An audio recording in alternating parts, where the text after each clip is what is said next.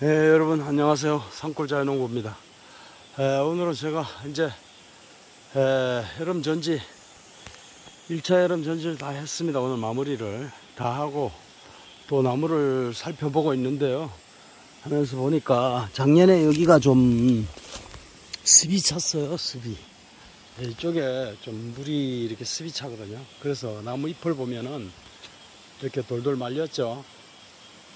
잎이 햇볕으로 보면 쫙 펴져 가지고 정상적인 게, 자, 이렇게 펴져야 됩니다. 잎이. 이렇게 펴지고, 예, 이래야 되는데, 여기는 보면 잎이, 잎이 이렇게 돌돌 말렸어요.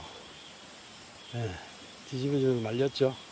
이게 이 나무가 왜 그러냐면, 습이 차서, 습이 차서 그렇습니다. 여기 밑에.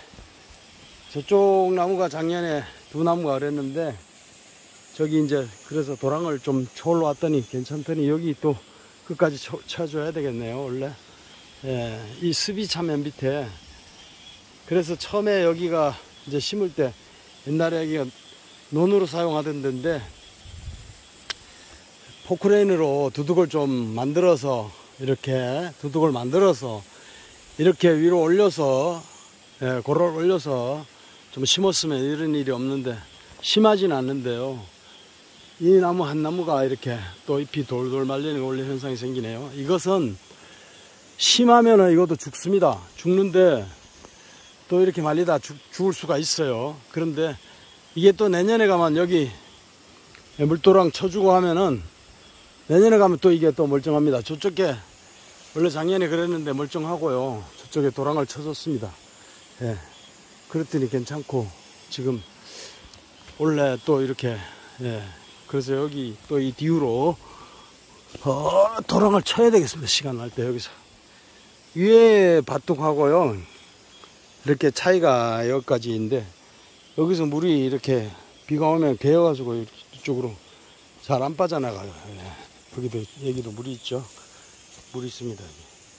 그래서 작년에는 여기 이쪽에 나무가 그랬는데 여기 도랑을 쳐줬습니다. 이렇게 도랑을 이렇게 쳤더니 그리고 물 근형이 여기 있습니다. 예, 물이 이렇게 예, 지금도 흘러가죠. 흘러내려가죠. 비가 많이 오면 이게 옛날부터 있던 건데 예, 제가 찾았습니다. 예, 더 여기를 보강을 해야 되겠죠.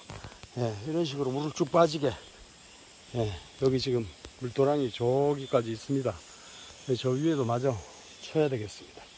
예, 여러분 습이 차면 이렇다는 것을 여러분 자두 농사 지으시면서 지으시고 하실 분은 다 아시겠지만은 자 한 번 더 보여드립니다. 여러분 고맙습니다.